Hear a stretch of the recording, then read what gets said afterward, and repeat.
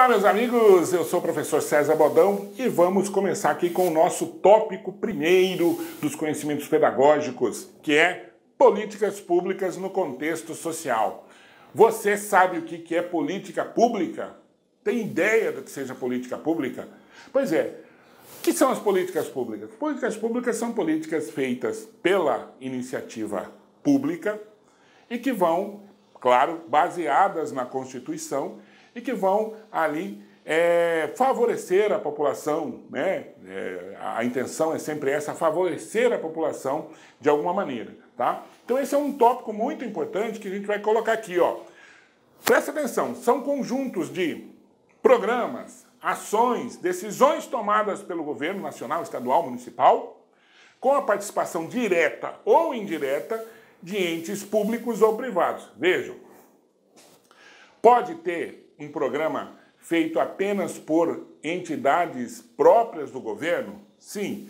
Pode ter um programa feita, é, feito por entidades do governo com a participação popular e a participação privada? Também pode sem problema nenhum, tá? Mas tem que ser um conjunto de programas, ações e decisões tomadas pelo, pelos governos nacional, estadual ou municipal, com a participação direta ou indireta de entes públicos privados que visam assegurar determinados, determinado direito de cidadania para vários grupos de sociedade ou para determinado segmento social. Então, não são programas destinados a pessoas ou a grupos individualizados, individuais, para uma pessoa. Não pode ser, embora isso exista no Brasil, com cara de ser para muitas pessoas, mas ele é feito visando a interesses próprios, interesses escusos, próprios. A gente vê muito isso na televisão hoje em dia.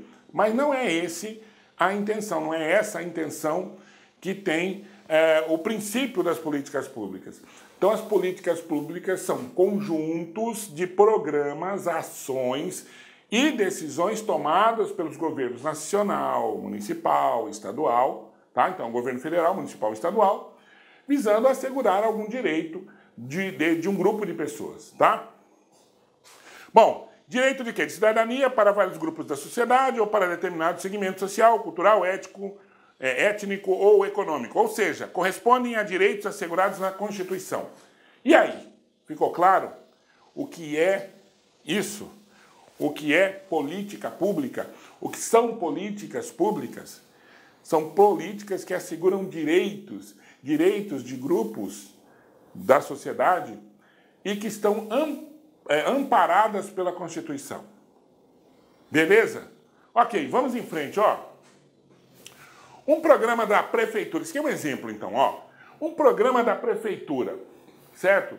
Que esteja beneficiando o seu bairro, por exemplo, é uma política pública. Então, pensa aí, aqui no estado né, de Mato Grosso, nós temos, por exemplo, é, ações ou políticas que são realizadas com a participação da sociedade, com a participação é, da, da, da, da, sociedade organizada, do, das do segmento público e privado, mas com a participação mais efetiva, quer dizer, quem fez o programa foi o governo, tem, pensa aí, isso aí é uma política pública.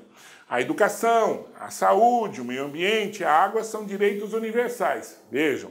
Então, se eu tiver, se eu tiver um programa do governo, seja estadual, municipal ou federal, relacionado a um, por exemplo, desses itens, a educação, saúde, meio ambiente, isso é uma ação relacionada à política pública.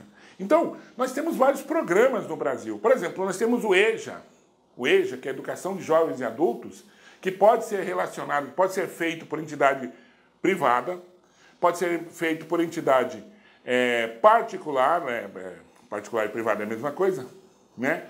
É, por entidade pública, e pode ser feito, por exemplo, por ONGs, com iniciativa, com é, é, a ajuda do governo, correto? Então isso é uma política pública. Então eu tenho o programa isso, tem vários outros programas, vamos ver aqui no final, para que você tenha subsídio. Se tiver que escrever a sua redação sobre isso, você vai ter condição, tá? Então aqui, ó. Para assegurá-los e provê-los estão constituídas pela Carta Magna. O que é Carta Magna, pessoal? Constituição. Constituição Federal. Então elas estão. São direitos que estão lá na Carta Magna. O que, que você vai fazer?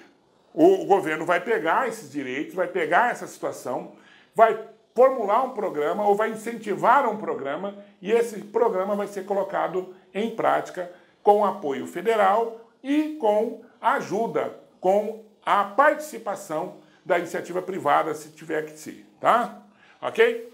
As políticas públicas de educação e saúde, por exemplo, também são políticas que são incentivadas pelo governo. Por que, a gente fala desses temas aqui? Porque em se tratando de política pública e em se tratando de problema, onde é que estão os problemas? Estão, os problemas estão na saúde, na educação, é, é, no saneamento básico. Nós temos lugares onde o saneamento básico é quase zero. Nós não temos saneamento básico. Nós não temos rede de esgoto, o esgoto corre a céu aberto. Então aí entra, como é um direito estabelecido na Carta Magna, estabelecido na Constituição Federal, entram aí as é, opções de política pública que são colocadas para melhorar essa situação. Tudo bem? Vamos à luta, ó. Por exemplo, exemplos de políticas públicas. Aqui no Mato Grosso, por exemplo, nós tínhamos um programa chamado Programa MT Pré-Vestibular, do governo estadual de Mato Grosso, do qual eu fiz parte, alguns professores faziam parte, que era significava o quê? Ora, quem tinha mais chance de entrar na Universidade Federal de Mato Grosso? Quem é que tinha mais chance de entrar na Universidade Federal de Mato Grosso? Eram aqueles alunos que podiam estar aqui fazendo o cursinho em escolas particulares que eram pagas, né? E os valores eram altos, e se era escola particular era paga, mas nem toda escola particular é paga. Tem escola particular em que a situação é de filantropia. Então a escola teoricamente deve doar bolsas para dar bolsas para alguns alunos, mas não era o caso. Então o que, que a, o governo de Mato Grosso fez bem, na minha opinião, tá? Pena que este programa ele não continua, embora fosse aí promessa do atual governo, não foi colocado em prática isso, que era o seguinte, levava através de videoconferência, através de aula de videoconferência, então nós íamos num estúdio igual a esse aqui, só que era ao vivo, você daria aula lá, e você atendia muitos alunos. A prefeitura de Cuiabá também fez um programa parecido, tá? Então esse é um programa de política pública que leva para alunos do interior de Mato Grosso, né, cuja capital está a mais de mil quilômetros, por exemplo, como é Colniza, Juína, que está a 700 quilômetros, você tem Guarantã, que está a 700, é, Alta Floresta, 800, então por aí vai. Nesses lugares mais longe, né, lugares mais distantes, o que, que acontecia? Você tinha uma aula lá, que pede seja de videoconferência, mas você dava oportunidade para aquela pessoa ter aula com esses professores que eram das escolas particulares naquela localidade. Então era uma coisa legal, era uma coisa boa, tá? Outra, programa que está aqui do governo, foi iniciado no governo do PT, ó. Minha Casa Minha Vida, do governo federal, que depois virou Minha Casa Minha Dívida, né? Porque o cara pegava e não conseguia pagar, certo? Então esses são dois programas que são exemplos de políticas públicas, políticas que foram colocadas para melhorar a vida do cidadão. E aí você tem na educação, por exemplo, o ProUni, que é um programa do governo federal, tá? E aí, o que, que acontece? Espelhando, se espelhando nesses programas, a iniciativa privada, ela cria mecanismos também para criar oportunidades para quem não pode estudar, só que pago, né? Aí já não seria uma política pública, seria uma política privada, correto? Então a política pública visa atender uma demanda social que consta na Constituição, que está lá na Constituição Federal e que não é assegurada pelos governos. Então o governo cria um mecanismo, cria uma política para assegurar esse direito. Tá claro o que é política pública? Então se cair alguma coisa sobre política pública, você já sabe, tá? Você já sabe, tá aqui. Ah, não entendeu? Volta, volta a fita. Lembra a fita? Lembra a fita? É, voltava a fita. Volta o vídeo e assiste novamente, tá? E se tiver alguma dúvida, manda um e-mailzinho pra gente que nós tentamos resolver o seu problema se for possível, ok? Então vamos lá, ó. O conceito de políticas públicas pode possuir dois sentidos diferentes. Então, pode, vejam bem, sentido diferente, tá? Primeiro sentido é o sentido político, sempre tem viés político, tá? Por quê? Porque o homem ele não vive sem esse viés político. Sempre tem o interesse, o viés político, não seja um interesse político pessoal, porque o interesse político não pode ser pessoal. O interesse político deve ser um interesse político em prol da sociedade, teoricamente. Tá? Encara-se a política pública como um processo de decisão, em que há naturalmente conflitos de interesse. Veja, quando há a questão pública, política, desculpa, no Brasil principalmente, há a questão de conflitos de interesse. Por que conflitos de interesse? Porque há muita coisa envolvida há muita coisa envolvida que não só o interesse público, tá? Por exemplo, no Brasil é muito comum uma pessoa que ganha um salário, por exemplo, de 15 mil reais como vereador, gastar um milhão, dois milhões para se eleger num período de quatro anos. Vamos pensar? Uma pessoa que gaste aí 2 milhões para se eleger como vereador com um salário de 15 mil reais, fazendo uma conta básica, não vai conseguir recuperar este dinheiro com o próprio salário em função do que ele já gastou para se eleger. Portanto, ou ele leva prejuízo, ou há algum interesse, alguém que banca esse, essa pessoa, e isso é legítimo no Brasil, pode até não ser moral ou ético, mas é legítimo no Brasil, tá? E o que, que acontece? É legítimo, então a pessoa utiliza desse preço, só que ela fica presa a determinados interesses, certo? E quando ela vai estar lá defendendo algum ponto de vista, ela vai ter esse conflito de interesse. Então eu tenho um deputado que, por exemplo, que é, vai ser a favor de determinada política que vai beneficiar muitas pessoas, mas outro deputado que vai ser contra determinadas políticas, porque vai de encontro, ou seja, na contramão do que ele defende com seus grupos de interesse, aqueles grupos que talvez o tenham patrocinado na eleição. Gasto aquele dinheiro para colocá-lo lá. Portanto, há sempre, no sentido político, conflitos de interesse. Tá? Bom, Através das políticas públicas, o governo decide o que fazer ou não fazer. Segundo sentido, se dá do ponto de vista administrativo. Então vejam, são dois pontos de vista.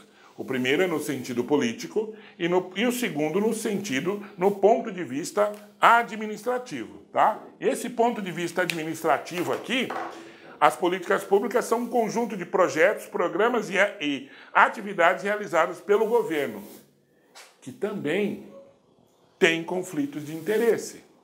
Tá? Por quê? Um governo que está no poder, e esta palavra poder é muito significativa nesse sentido, ele está no poder, o que, que ele vai querer? Continuar no poder. Tá? E aí eu lembro do filme Matrix, que o cara pergunta, né, o, o personagem Neo pergunta para um programa de computador: e o que esses, essas pessoas querem? Poder. Quem quer poder quer sempre ter mais poder. Então, quem quer poder, quem está no poder num governo, quer de novo ter o poder ou quer colocar o seu sucessor. Então, esse conjunto de projetos, programas e atividades realizados pelo governo devem atender a determinados interesses também, tá? E esses interesses podem ser o interesse da, pela população ou interesses que não sejam para a população, mas que atendam a algum projeto político individual. Por... Olá, meus amigos, minhas amigas, sou o professor Luiz Antônio de Carvalho e estou aqui para fazer um grande convite para você, você que vai prestar o concurso da Secretaria de Estado de Educação da Paraíba 2017. Nós aqui do Lá Concurso, nós preparamos um super curso online, um curso online com quase 100 videoaulas por apenas 10 parcelinhas de 20 reais, o melhor custo-benefício do mercado. E com a qualidade desse professor que você acabou de assistir essa pequena aula aí, um trecho de uma aula demonstrativa para vocês conhecerem a qualidade dos nossos professores aqui do Lá Concursos. Valeu, galera. Então, espero vocês. Ah, já ia esquecendo, se você deseja esse material de apoio do professor dessa videoaula, clica aqui embaixo, nós temos um link que você pode fazer o download desse material gratuitamente no site do Lá Concursos. Bacana, pessoal? Então, espero vocês no nosso grande curso concurso do Personal Coach, LAC Concurso Secretaria de Estado de Educação da Paraíba, cargo de professor 2017. Forte abraço, espero vocês. Fui, tchau. Clique,